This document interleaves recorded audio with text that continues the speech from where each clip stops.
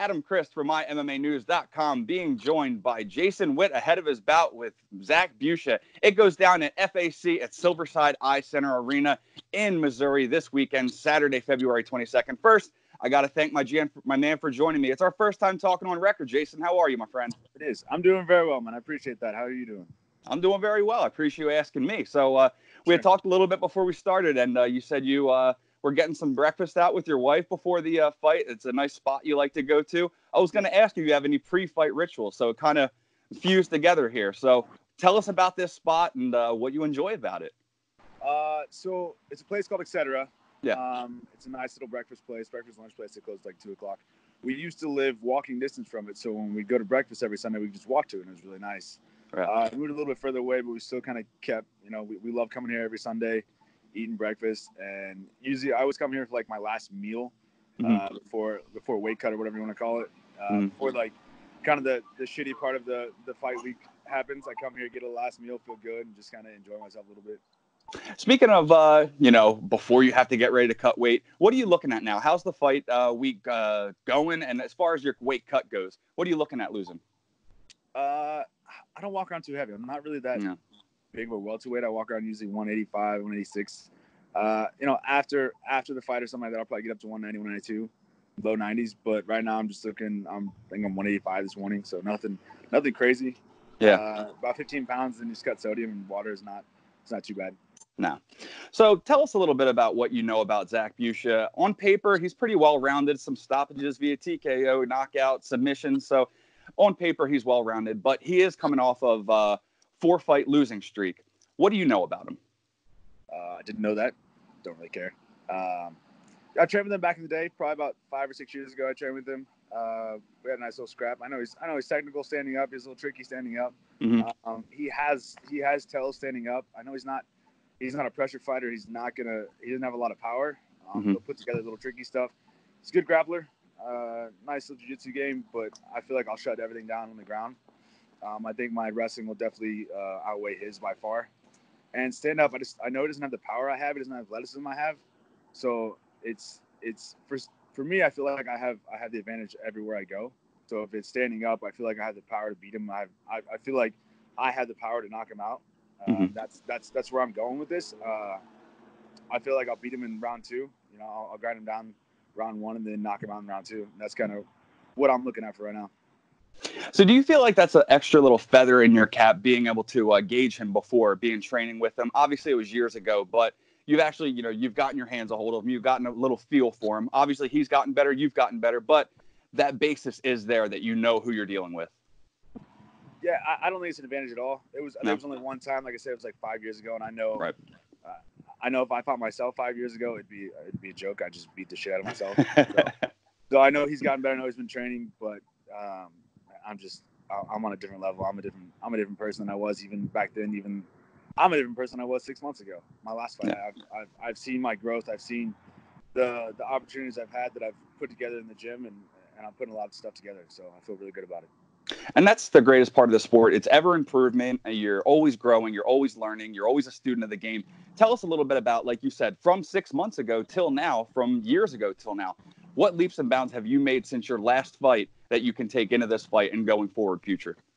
That's a great question. Um, I'm, I'm seeing, I'm seeing. Uh, so James Krause does a great job as a coach, um, Yeah. putting putting things together. Um, he's organizing everything in class. So it's like I see my game, my my strengths that I have are being organized. Mhm. Uh, the way I like to put it is is my my systems, my series are, are organized to what works best for me. And I'm seeing my improvements through those. You know, like my step by steps, things that are working together, the details. I'm putting details on details, and that's that's kind of where I see my game getting better every single day. So, So after, I mean, let's throw some foresight on this fight, right? You're obviously winning this fight in your head. You plan on taking him out in round two by knockout. You said that yourself. You'll be going four fights strong after this. You're on a three fight win streak now. If, if you win this fight, there'll be four fights in a row. What about what's your next step going after this, right? Um, I man, I, UFC's right at the door. I know they're calling. Yeah. They're knocking. They're, I, they're, I feel when I knock him out at this fight, they, they can't deny me. There's there's no denying me. Um, I've worked my ass off for this, and I feel that I I, I know I'm ready 100. percent Um, I feel like I could have fought this weekend if I needed to. Um, I, I, I feel like the UFC is next, and that's just the way it is. Um, I'm what I'm number one in Kansas City, Missouri, according mm-hmm. to Tapology. Whatever. I don't really care about those numbers. I, right. I, but it's just it's just good to have. Um, one in Kansas City, one in Missouri, one in Minnesota, like number two in the United States. I mean, I don't I don't understand uh, how they can deny me after this.